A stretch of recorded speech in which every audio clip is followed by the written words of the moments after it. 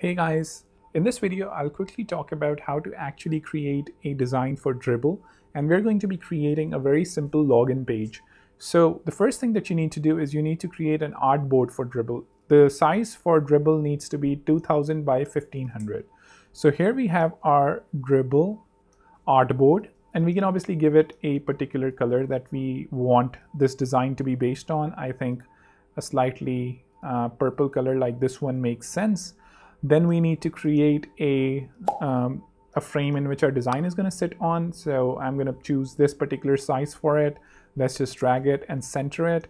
Uh, I'm going to duplicate this frame two times because I want it to be, I want uh, two portions of this to be uh, sitting on the left and the right. So here we have the single portion that's sitting on the left. Here we have the one that's sitting on the right. Let's just give it a background for now and then obviously we can update it later. So what do we need to do here? We need to basically have a logo at the top and I'm guessing we need to have a an application that actually allows you to sleep better. So what you need to do is you need to pick a logo. So I'm going to go and I'm going to go to my Iconify plugin. I'm going to ch choose search for a moon. Here we have a moon and I can basically choose a moon that looks good to me. I think this looks fine. Actually, it, it's slightly, um, I think like this, this one looks fine. So I'm going to say that I want to choose this one and I'm going to import the icon. So here we have the icon. One other thing I'm going to do, I'm actually going to open the prototype view for this. So obviously the icon is really small. So I'm going to go ahead and make it bigger.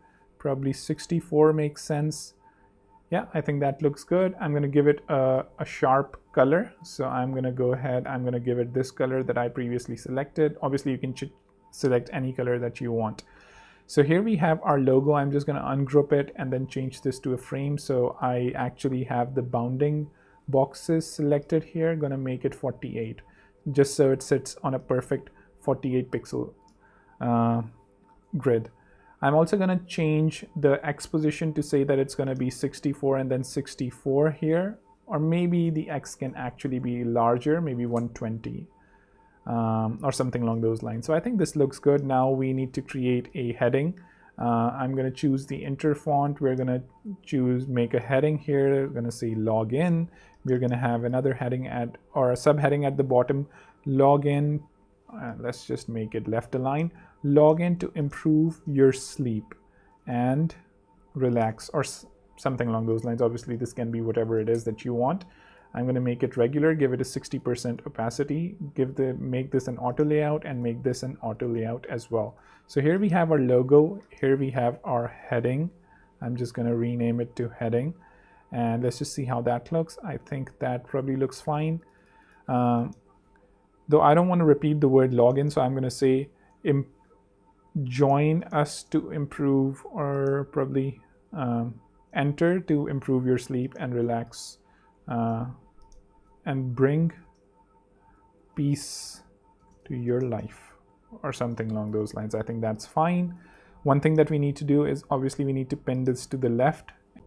So we need to go ahead and apply the spacing that we were previously applying there here. So we can say uh, the spacing needs to be 0 and 100 from the left and the right, so both of them are consistent. I'm going to say this is we're going to have a fill container here, and now we need some sign-in mechanisms here. So I'm going to go ahead and I'm going to create a frame. I'm going to give it a fill container as well, give it a particular height. First of all, I'm going to make it an auto layout, and I'm going to say this is going to be a fixed height, and this is all. This is can this can obviously be a fill container. I'm going to say sign up or sign in with Google so that's going to be our first option. Let's go ahead and fill it again. Uh, center it vertically and horizontally. Let's see how that button looks. Obviously the button needs to be at the bottom.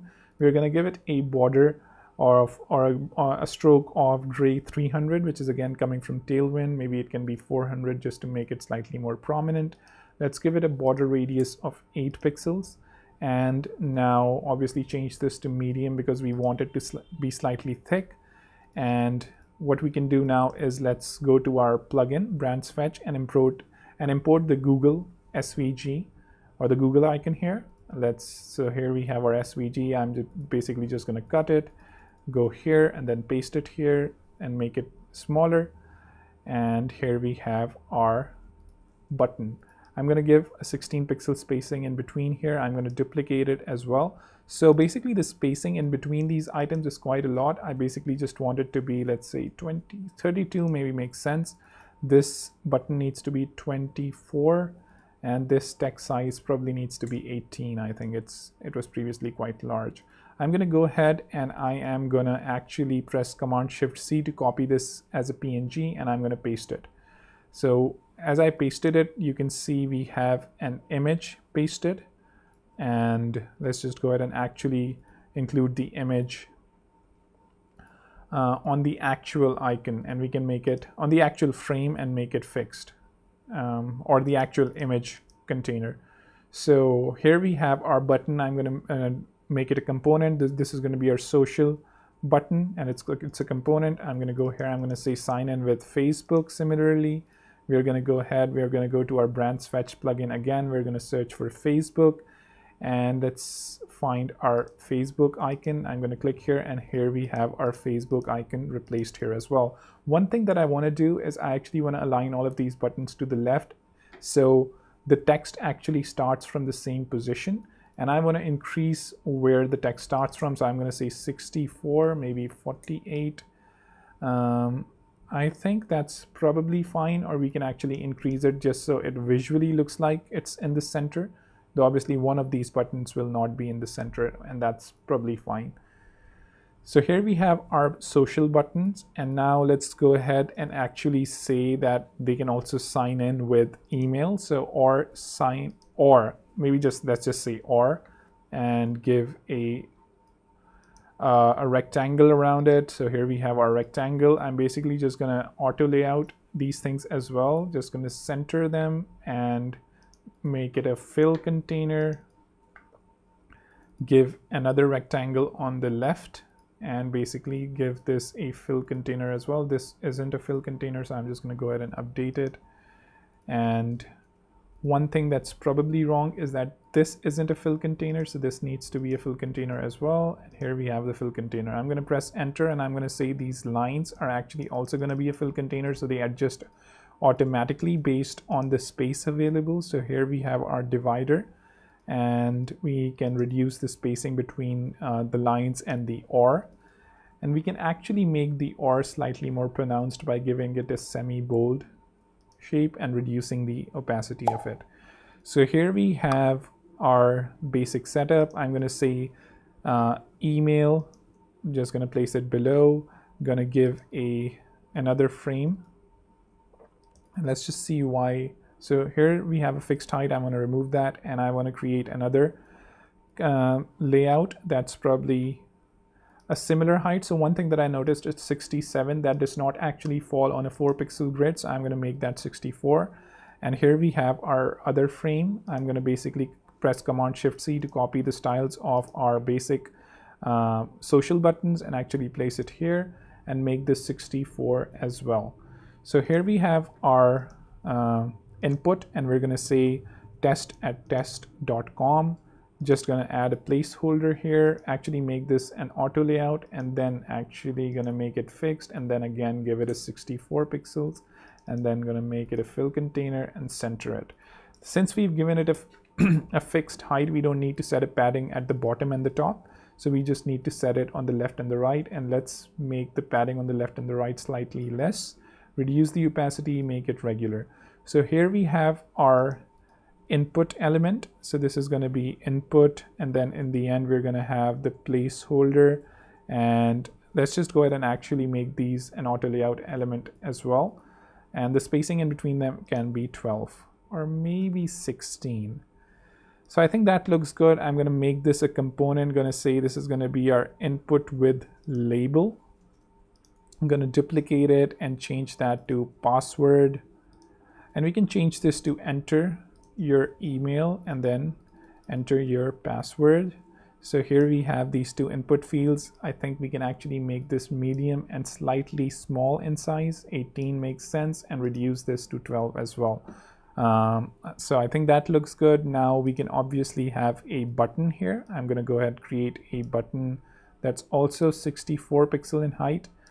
To create an auto layout element again on this button. To expand it and basically gonna make this fixed height gonna give this a background of the primary color that we selected gonna give it a rounded corner on the edges and make it log in and then we can obviously center it by uh, choosing it centered here and we can make this semi bold because buttons probably need to be slightly more pronounced the font size can be 20 so here we have our left side that's pr practically mostly done I think and it looks good. And obviously we can have uh, a forgot your password link here at the bottom or maybe here.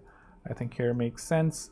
12 move this to the right and basically reduce the opacity here and then change this to the primary color that we have so people can click on it make it regular and maybe even underline it if we want. Or maybe the underline doesn't look that well. Actually increase the font size here slightly. So here we have our content. I'm going to center it vertically. Well actually I think this spacing actually needs to be reduced. So I'm going to go ahead and I'm going to change that to 64 and then going to center it. And well never mind. Let's just make it 92 and then probably have it slightly upwards. Actually we can um, push it directly to the top and we can adjust the spacing from the top by the padding on the auto layout. So here we have our basic form. Now we need to actually have an image here and we can choose the image by going to let's say Freepik Freepik is a really good resource if you want to find like images. Um, and I actually have a premium subscription but you can actually use their images for free if you uh, credit them. So I'm going to search for let's say night um, landscape or something along those lines. So here we have some great images that we can use. I'm going to use this one. Just going to go ahead and download it. And obviously you can use any of the other ones that you want. I'm gonna go ahead and extract it. Here we have our image. I'm going to basically go ahead and paste the image. So we have it inside of Figma. Just going to press Command Shift C and paste it here. So this already looks good. I think the image itself is slightly greenish in nature, which we can obviously change by changing the tint if we want uh, to whatever it is that we're looking for. We can also change the highlights as well. Um, and we can actually also choose an image that looks slightly similar to the theme that we've chosen, but since we've not done that, I'm actually going to give an overlay at the top. So here we have our fill, and on top of the fill, we basically can reduce the opacity to slightly match the colors. And if we don't do that, then obviously what we can do is instead of um, having a fill actually applied right then and there, we can say this is going to be our form and remove this actually this is our form. So this is our form. This is the background. We don't need it. This is going to be the image. I'm going to duplicate the image. I'm going to remove the fill out of it. I'm going to give it another fill. I'm going to choose uh, the purple variation here and I'm going to reduce the opacity. And now we can actually play with the layer styles. I can make it soft light. I'm going to go and choose the color one which I think is going to do the trick. So I'm going to increase the opacity to 80% and as you can see it's already starting to look good one other thing that I can do, obviously I can actually make this locked now. So this is gonna be our overlay. This is the image. Um, I actually want change the positioning of the image. So I, I, probably want this sort of a thing here. And obviously you can tweak it however you want. Um, and let's just go ahead and, and see what else do we have on the image. If there's anything else interesting, I think. Hmm, I think this probably looks fine. I'm going to go ahead and add some title here as well. And the title here can be uh, Sleep Well to Explore New Avenues or something along those lines. I'm just making these things up.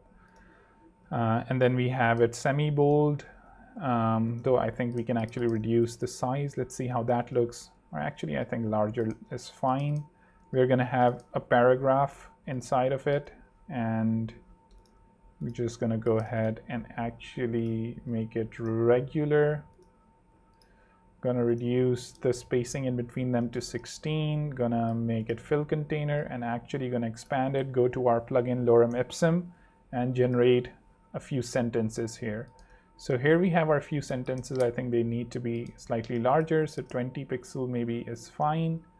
20 and probably reduce the content here, make it centered and make this whole thing actually centered in the auto layout as well and reduce the opacity slightly to 80 and now we can actually give uh, some frames here to actually indicate that this is just a particular state or particular slide in this whole thing. I'm going to make these auto layout. I'm going to give this an auto layout container again and actually increase the spacing of this auto layout container just to move these items a bit at the bottom. Um, I'm going to give a radius here and a radius here just uh, stylistically. I think that looks fine. Gonna go ahead make an auto layout again. This is going to be our pagination or maybe slides or something. Okay, so we basically now have these slides here and I think this looks good. And here's how you basically go about creating a Dribbble design. I can obviously go ahead and group all of these things together just so they're uh, in an actual uh, frame. So this is going to be our content. And let's see if we can do any other improvements. Maybe we can change this background to be slightly darker just uh, to match some of the colors that we have here. And yeah, I think that looks good. And this is all that we have for this video. Do let me know if you need anything else and if you have any questions on this. But other than that, I'll see you in the next video. Take care, do subscribe, and do hit the bell icon.